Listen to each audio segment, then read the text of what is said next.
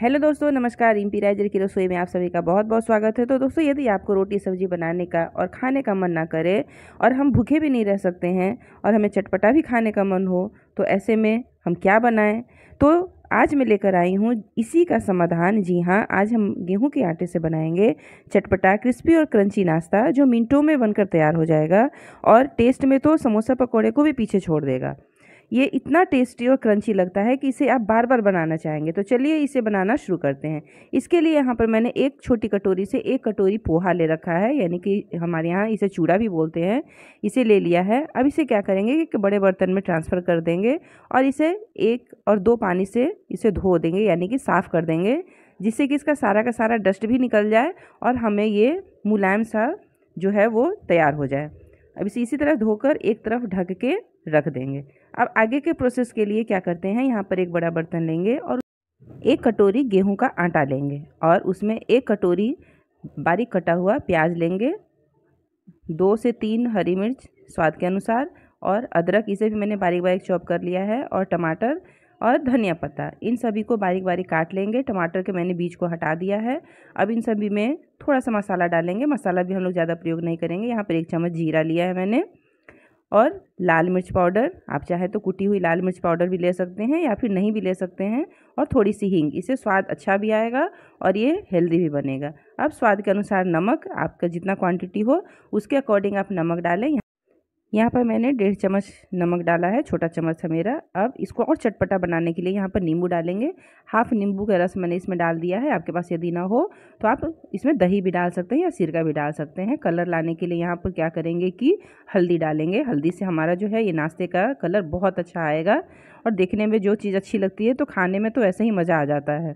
अब इसे क्या करेंगे थोड़ा थोड़ा पानी डालकर इसको एक गाढ़ा सा डो तैयार कर लेंगे। यदि आपको मेरा वीडियो अच्छा लगे तो आप मेरे वीडियो को लाइक करें, शेयर करें और मेरे चैनल को सब्सक्राइब ज़रूर करें। देखिए, इस तरह से मैंने ये डो बना लिया है।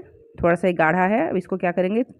एक तरफ़ रख देंगे और हमने जो पोहा है ना, उसे धोकर रख दिया था एक तरफ़, उसे लेंगे और उसे अच्छे से मसल देंगे। यदि ज़रूरत पड़े आपको तो आप क्या करें कि उसमें थोड़ा सा पानी डालकर और इसे आप अच्छे से मसल दें।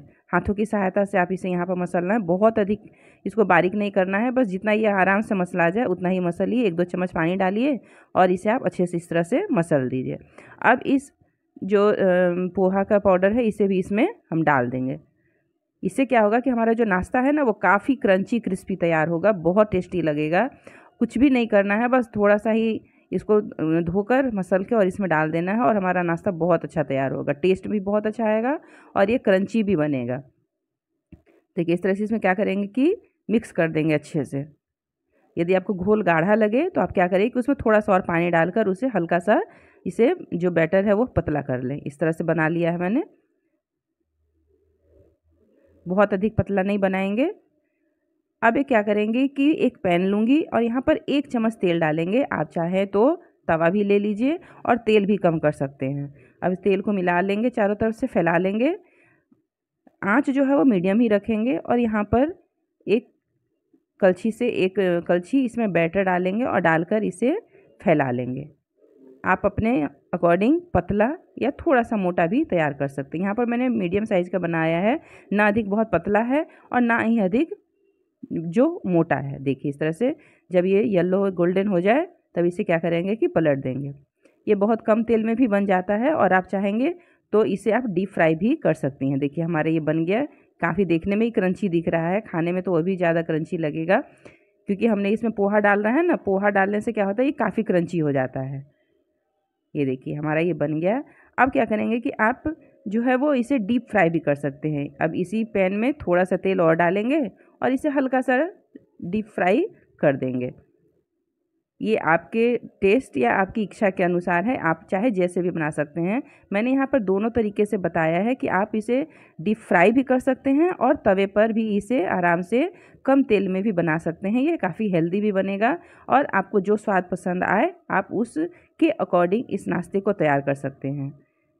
देखिए, इसे भी गोल्डन फ्राई होने तक क्या करेंगे कि अच्छे से इसे उलट पलट कर इसे सेकेंगे।